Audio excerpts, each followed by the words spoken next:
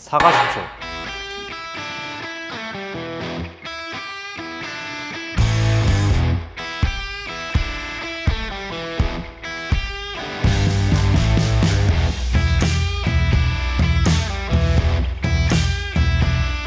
몸 좋은 사람들 집에는 이 사과 식초가 꼭 한 명씩 있더라고요 그걸 블리스님이 어떻게 하시죠?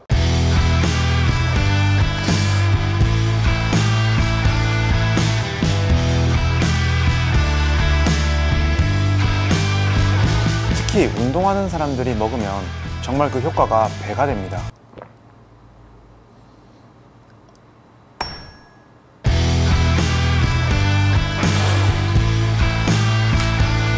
이 영상은 오직 정보 공유의 목적입니다. 저는 의사가 아닙니다. 단지 제 건강을 위해서 많은 공부를 하고 그것을 바탕으로 직접 실험하여 결과를 내고 그것을 정리하여 영상으로 만드는 한낱 유튜버입니다. 21년 IFBB natural 보디빌딩 프로 qualifier 대회 준비할 때 저는 매일 사과 식초 30ml를 섭취했습니다. 그리고 지금도 꾸준히 섭취 중입니다.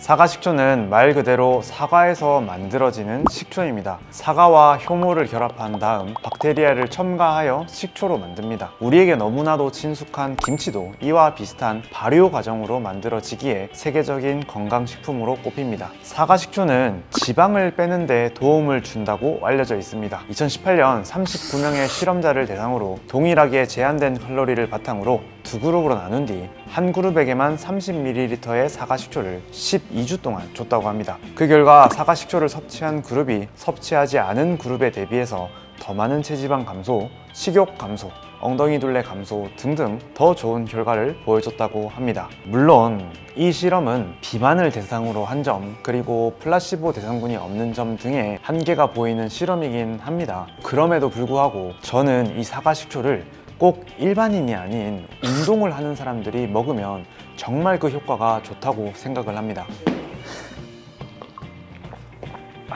일단 확실히 말해주자면 이건 스테로이드 같은 마법약은 아닙니다. 그냥 김치 같은 거라고 생각하면 좋습니다. 엄청난 효과보다는 뭐 조금 내 삶을 긍정적으로 바꿔줄 그런 음식인 거죠. 제가 느낀 바를 공유하고 싶은 것이지 제가 뭐 사과 식초를 광고받아서 영상을 제작하는 것도 아닙니다. 물론 광고면 좋겠죠. 운동하는 사람들이 사과 식초를 먹어야 하는 첫 번째 이유 사과 식초는 인슐린 민감성을 올려줍니다. 혈당이 높으면 당뇨에 걸린다고 하죠. 그리고 그 혈당을 낮춰주는 게 인슐린이고 이 인슐린은 여러분들이 운동 직후 먹은 음식들을 에너지원으로 저장하기에 도와줍니다. 그렇기에 인슐린 민감성이 높으면 더 많은 양의 음식을 근육세포로 몰아줄 수 있게 되고 근성장에 도움이 되는 것이죠. 그래서 인슐린 민감성이 높으면 대사가 좋아진다 라고 합니다. 그리고 이 사과 식초가 그 촉진제로서 아주 중요한 역할을 하는 것이죠. 그렇기에 평소 식단을 철저히 하는 운동인들은 사과 식초를 먹을 때 그 식단의 효과가 배가 됩니다. 사과 식초를 운동하는 사람이 먹어야 하는 두 번째 이유. 사과 식초에는 항산화 효과가 있습니다. 비타민C를 많이 먹는 이유는 이 항산화 작용 때문이죠. 그리고 운동하는 사람들 중 일부는 글루타치온 같은 것을 복용 또는 주사하기도 합니다. 사과 식초 또한 이런 항산화 효과가 있기 때문에 사과 식초를 먹으면 혈관 건강을 개선하고 염증을 감소시키는 데 도움을 주기 때문에 여러분들의 회복에 조금이나마 기여를 할 수 있게 되는 것입니다. 피부가 좋아지는 건 덤이겠죠. 운동하는 사람들이 사과 식초를 먹어야 하는 세 번째 이유. 사과 식초에는 에너지 부스팅 효과가 있습니다. 잠들기 직전 아이셔를 한번 먹었다고 생각해 보세요. 바로 잠들 수 있을 것 같나요? 아니죠.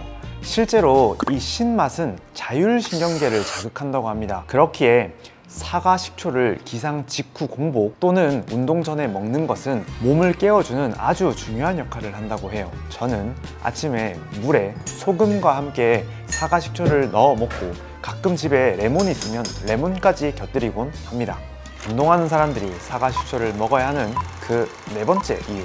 사과 식초는 식욕 억제 효과가 있습니다. 배가 몹시 고픕니다. 진짜 배고플 때 한번 드셔보시면 아시겠지만 금방 식욕이 사라집니다. 그 과학적인 이유를 좀 찾아보면 사과 식초가 혈당 스파이크를 줄여줘서 혈당을 안정화시키기도 한다고 하기도 하고 음식이 위로 이동하는 속도를 줄여서 더 오랜 기간 포만감을 느끼게 해주기도 한다고 하네요. 사실 그 정확한 원리는 저도 막 엄청 관심이 있진 않고 배고플 때 먹어보면 직방이라는 걸 바로 느낄 겁니다. 자 여기까지가 사과식초를 운동하는 사람들이 먹으면 좋은 이유 네 가지에 대해서 알아봤습니다. 사실 아까 언급드렸듯이 사과식초는 마법약은 아닙니다. 그냥 여러분들의 식습관 중 좋은 음식을 하나 추가한다는 생각으로 알려드렸습니다. 저는 가끔 속이 더부룩하거나 에너지가 부족한 날 탄산수에 사과식초를 넣어서 한 잔 들이키곤 합니다. 한 병 사놓으면 꽤나 생각보다 빨리 먹어지는 친구입니다. 불과 몇 년 전만 해도 이거 직구하기가 너무 어려웠는데 요즘은 쿠팡에서 아예 전담으로 수입해서 구하기가 너무 쉬워졌습니다. 꼭 여러분들의 식단에 추가하셔서 조금 더 건강한 운동을 하셨으면 좋겠습니다. 아, 오늘 영상 도움되셨으면 좋아요 및 구독 꼭 부탁드리겠습니다. 감사합니다.